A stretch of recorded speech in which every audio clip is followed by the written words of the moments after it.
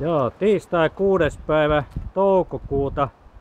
Heittipä takaa talven nyt tänne Neulamäkkeen ja Juontotie 9 pihaa. Että tämmönen kuuro luontoinen taitaa olla, mutta kyllähän se nyt tätä oli kyllä odotettavissakin, kun niin lämpimiä oli, niin tota se ottaa nyt takaisin päin.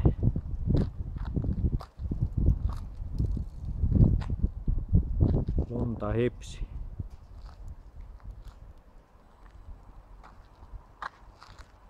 Joo, kyllä ottaa takaisin päin.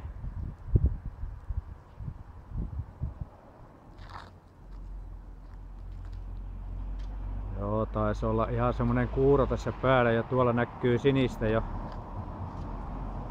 Jaa, harmaaks veti.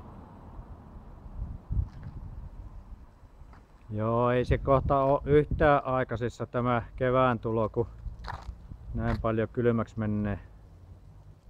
No nyt taitaa laantua